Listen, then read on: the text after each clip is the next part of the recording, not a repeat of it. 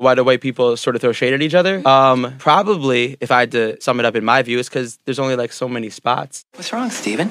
I'm sensing some weird energy from you. From you. From you. If you are wise, you'll listen to Nolan Ryan, first team. What the fuck is happening?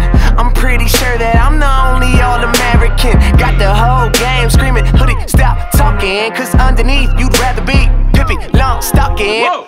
And it's ironic that you say I got the little league fans. Bro, your shows, I swear they look just like a middle school dance. Just face it. If you can't see that, get LASIK. Don't think you're gonna make it. Everything you said's baseless. You're basic. I bet that's why more than one half of your fan base still has braces. Cause I haven't seen so many 12 year olds come out the woodwork since Sandusky's basement. Man, this Twitter shit is getting absurd. I can't believe you turned my timeline into Revenge of the Nerds, Steven. You like we man, running from all of your demons. Always been an odd kid out that's trying to get even, but you peeking. Homie, it's mine. If you don't know now, then you know it in time. You don't know your facts like coke in the trash. Most of your track was throwaway lines. What do you get when you guzzle down?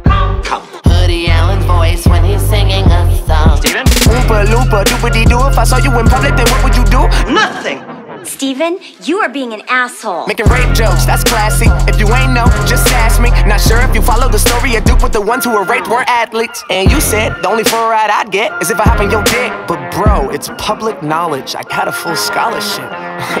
I mean, the amount of irony here is just pure comedy. You worked for Google, just Google this stuff next time. I mean, it's flat out inaccurate. It's just a show.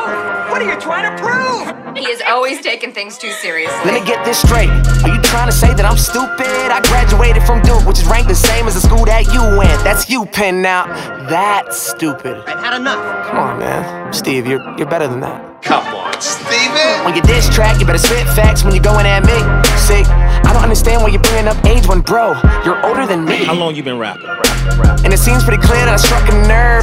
Calling me a creep, but you named yourself after a fucking perv. The hell is wrong with you, man? I guess you were just never cut out for Google. You know what I mean? Like, take 10 minutes out of your day. Do a little background check before you pull the trigger on a name based off Woody Allen. It's just a horseshit read. It's just skin, Steven. Are you really trying to say that I still live at home?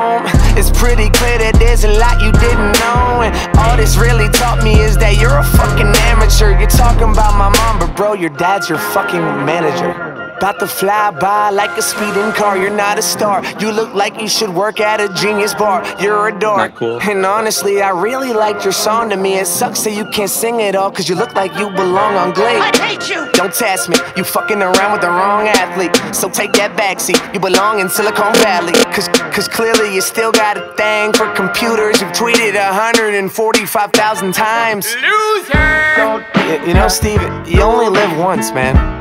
Stop staring at your fucking Twitter. Go outside. I know you don't turn up, but why don't you go have a fucking picnic or something? You lose! Good day! Okay, sports reference, short reference. Maybe you should try another search engine. Google, Bing, Yahoo, Ask Jeeves. Really, it's your preference. And I really don't get this. You're reckless. Hit me up like two weeks ago saying, Damn, Mike, I fuck with your message. You're a nitwit and a hypocrite, and I'm sick of it. You got no friends. You could go to the World Cup and still have no one to kick it with. You're ridiculous. What? And all you do is call your fans. Cause when you call your friends, all you get is crickets, bitch. This is where the healing begins. First unheard message. Hi, Mike, it's your mother. I had the geek squad over here earlier. I guess one of the guys who came here, Hoodie, Steven, I don't even know his name. He's upstairs sniffing through your clothes. He put your jockstrap on his head. He's acting like a nutcase. This guy seems really obsessive. He found your yearbook. He's rifling through it. I'm a little nervous. He was even asking for baby pictures. I think he wants to see a dingaling.